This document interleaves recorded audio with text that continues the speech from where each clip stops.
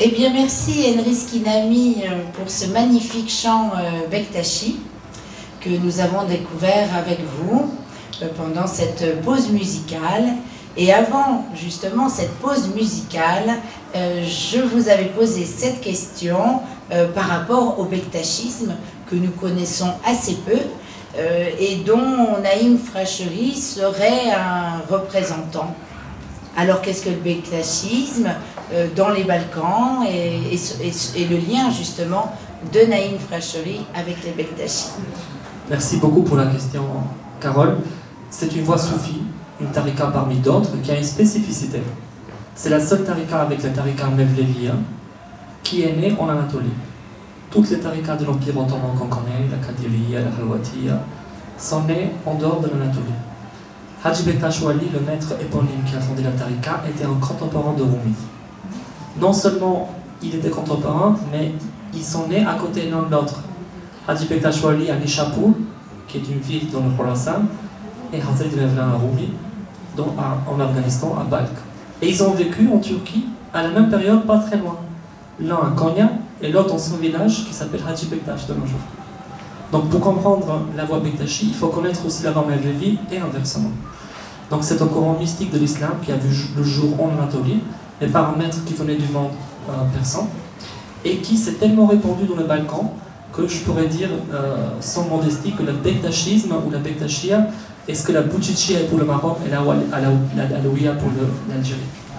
Donc, et depuis maintenant, parce que l'islam est arrivé dans le Balkan à travers le maître soufi bektashi, dont le plus illustre est sans doute Salih Santok, alias Mohamed al-Bukhari, qui était un khalifa de Hajj Bektash lui-même, qui est venu en Europe, dans les Balkans, afin de répandre l'islam par le biais du tasawwuf. À quelle période? Euh, Il est arrivé vers 1250. il a vécu dans plusieurs lieux, notamment en Albanie, en Kosovo, en Macédoine, en Bosnie, etc. Il y a toujours les mausolées qu'on peut visiter dans un jour dans, les villes.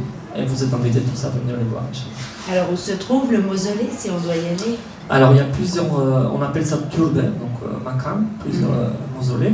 Ils sont très modestes, ils sont vraiment des lieux de recueillement, d'une simplicité. Il y en a sept symboliquement, donc principalement dans les pays que j'ai cités, dans des villes comme Cluj en Albanie, comme Mostar en Bosnie, parmi les plus connus, etc. Très bien, mais je vous remercie, cher Enris, pour nous avoir fait cette introduction à l'œuvre de Naïm Frachery. Et euh, ben, je propose euh, de prendre quelques questions. Euh, peut-être Marie Mirand.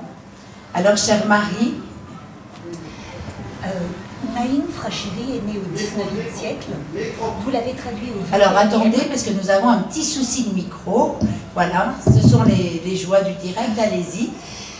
Naïm Fracheri est né au 19e siècle. Vous l'avez traduit au 21e.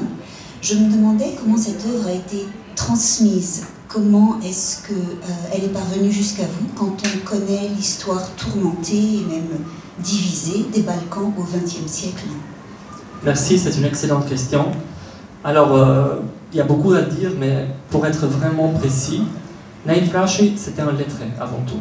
Donc il a écrit énormément de livres, énormément de recueils, à peu près une vingtaine dans plusieurs langues. La plupart en albanais, bien sûr. Dès son vivant, il était très connu, était très apprécié, et par les gens qui étaient albanophones, turcophones, persanophones, parce qu'il lisait ses écrits. On a eu la chance qu'avec euh, son départ en 1900, en quelques années après, l'Albanie devient indépendante. Parce que l'Albanie, en fait, qui se sépare de l'Empire ottoman, qui est en déclin, après cinq siècles de d'appartenance à l'Empire, cherche aussi sa voie vers une culture propre à elle. Et là, il devient vraiment le leader, devient vraiment le, la lumière de cette voix par ses poèmes et par ses écrits aussi. Euh, il, fut un temps, au début du XXe siècle, Flash, il était plutôt bien compris, parce qu'il était édité en permanence, réédité. Malheureusement, avec l'avènement du communisme en Albanie, Naïm Flash garda toujours sa position de poète de premier plan, mais on l'a laïcisé. On l'a devenu vraiment un produit du système. Donc on a enlevé son côté spirituel. Et depuis les années 90, donc depuis l'ouverture, on va dire, l'Albanie et des Balkans, qui coïncident avec l'époque des guerres malheureusement, mais qui sont maintenant loin derrière nous, il y a une recherche, et j'en fais partie en fait de cette nouvelle vague de chercheurs albanais, qui ont accès à des publications originale de Naïf Rashi. Parce que figurez-vous, à l'époque communiste, il y avait des parties qui étaient censurées. Donc notamment les parties où il parlait de Dieu, on les censurait, on les enlevait du texte. Il y avait des livres entiers comme Kirbala qui étaient inconnus. On ne savait pas du tout qu'il avait écrit ça à la fin de sa vie. Donc c'est une transmission qui se fait principalement par les livres, parce que les gens n'ont pas forcément retenu par cœur euh, ces poèmes, quoique il y en a beaucoup qui retiennent. Mais comme je vous ai dit, depuis quelques années, il y a un questionnement sur aller voir les sources, aller voir ses propres écrits pour pouvoir comprendre toute l'universalité du poète. Très bien. Euh, Marie, euh, est-ce que vous voulez ajouter quelque chose ou nous prenons notre question? Peut-être une autre question, je me demandais s'il y avait euh, dans les Balkans une tradition de récitation orale de ces poèmes de type un peu épique, de telle sorte qu'elles soient partagées, mémorisées par les femmes qui pourraient après les réciter dans des scènes de leur vie quotidienne? Si, si, dans les Balkans, il y a une tradition qu'on appelle la tradition homérique. Hein, il y a un livre là-dessus du grand écrivain albanais Ismail Kadali qui s'appelle Le dossier H, hein, publié plusieurs fois en France. Et le titre H hein, veut dire Homère. Et donc, euh, cette tradition est vivante encore dans le nord de l'Albanie, dans, les Alpes. Il y a encore des poètes, troubadours, qu'on appelle des rhapsodes, qui mémorisent des dizaines de milliers de vers par cœur et qui les chantent avec un instrument monocorde, une vieille, qui nous rappelle Romy aussi, qui jouait la vieille monocorde et qui raconte effectivement des poèmes épiques, mais ce n'est pas le cas de Naif Rashi. Naif Rashi déjà vient du sud d'Albanie, pas du nord, et c'est vraiment un nombre de lettres. Et donc les poèmes de Rashi ont été principalement appris à l'école, par nous tous, comme on a appris Victor Hugo en France. Et bien sûr, après, il y a eu tout un processus de mémorisation de ces poèmes. Mais voilà, il y a tout un autre pan de la poésie albanaise orale, pour le coup, épique, qui est toujours orale. Très bien, merci. Alors nous allons prendre une autre question. Euh, c'est Hicham, euh, qui est euh, donc président de la fondation We Speak Citizen, et voilà, qui est partenaire aussi de notre festival de fête de la culture soufie. Alors si Hicham, quelle est votre question? Bonsoir et merci de nous donner la parole. Je suis très honoré d'être ici et j'ai appris beaucoup de choses avec vous. Euh, on découvre euh, ce pont du soufisme euh, de l'Est qu'on ne connaît pas forcément au Maroc. Et là, j'ai été interpellé par, les œuvres de Naïm Brachi que vous avez citées, et notamment le Kerbala. Le Kerbala, est-ce qu'il y a là un parallèle à faire avec le chiisme? Et est-ce qu'il y, a, une sorte de lien entre le tasawwuf chiite et le tasawwuf soumis que nous connaissons ici au Maroc? Merci, c'est une excellente question. Là, on rentre vraiment dans des choses euh, vraiment qui me tiennent à cœur. Parce que Naïf Flash dit une chose lui-même qui, je trouve, euh, qui me parle. Euh, parce qu'effectivement, lui-même, il était rattaché dans une tarika qui, avec le temps, a pris plus, on a dit, une tradition chiite. mais quand on lui a posé la question, et puis lui-même, il a écrit un, livre parmi d'autres qui s'appelle Le cahier du bektachisme, où effectivement, il dit au début, donc je vais vous le lire, le début de Kerbala, qui s'inspire du Pentachisme, il dit Dévoile-toi, Dieu le vrai, ne me laisse pas en retrait. L'ange paraît d'être de feu, en mots doux, au bon vœu. Je chanterai la sagesse, à Imam Ali je m'adresse. Et raconterai sa progéniture, Amana aux générations futures, afin d'extraire une goutte de la mer d'éclaircir ce droit amer, faire preuve de patience et de bravoure pour que l'humanité savoure. Je vais vous conter l'histoire de Kirbala, l'histoire de la descendance de l'envoyé d'Allah.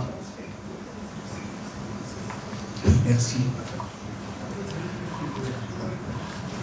Eh bien, merci, euh, Sharon pour euh, cette saveur euh, des Balkans, pour euh, ce voyage dans ce haut lieu du soufisme. Je dis ce, mais en fait c'est ces hauts lieux du soufisme, parce qu'ils sont nombreux. J'espère que nous aurons euh, l'occasion de vous accompagner.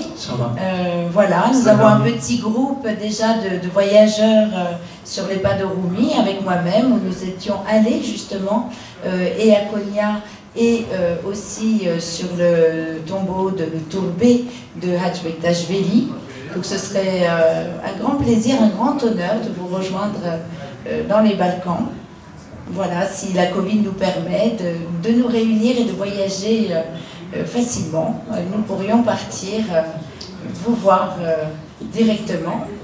Et hum, j'aurais aimé en fait conclure avec un, très beau poème de Naïm Frachery, si vous, pourriez, vous pouvez nous faire l'honneur de le lire pour nous.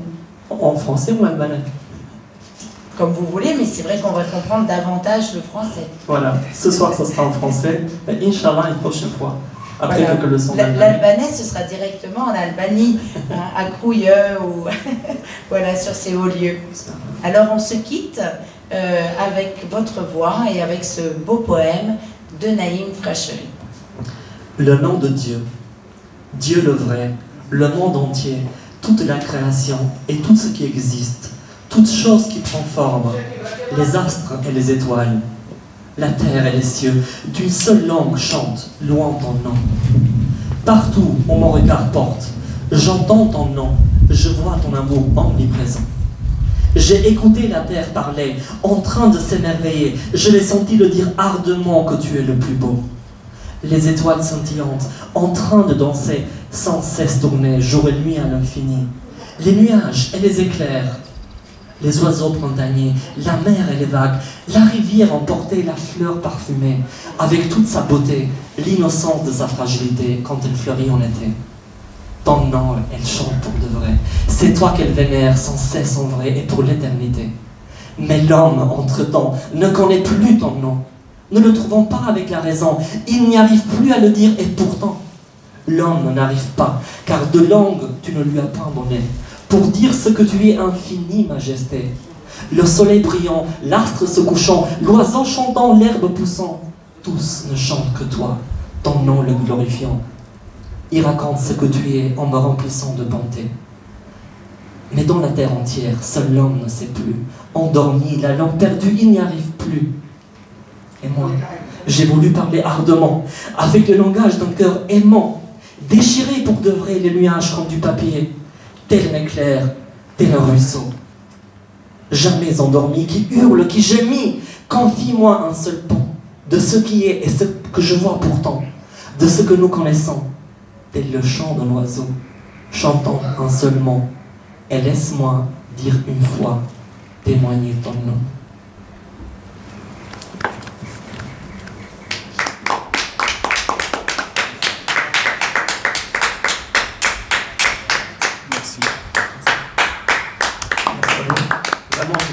Amis.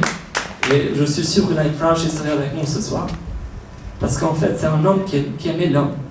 Il a dit une phrase qui me touche beaucoup. Maman, là, j'ai des larmes aux yeux. Il a dit, on lui a posé la question, mais vous aimez toute l'humanité, en fait. Vous parlez tellement de langues. Vous parlez de tout. Il a dit, parce que je crois que profondément, l'homme en soi, il porte la religion. Elle n'est pas dans le livre, elle est dans le cœur de l'homme éveillé. Et ici, ce soir, en fait, dans le cadre de ce voyage dans les hauts lieux, le grand poète Flash, il est parmi vous et je vous remercie de l'avoir accueilli avec grand cœur.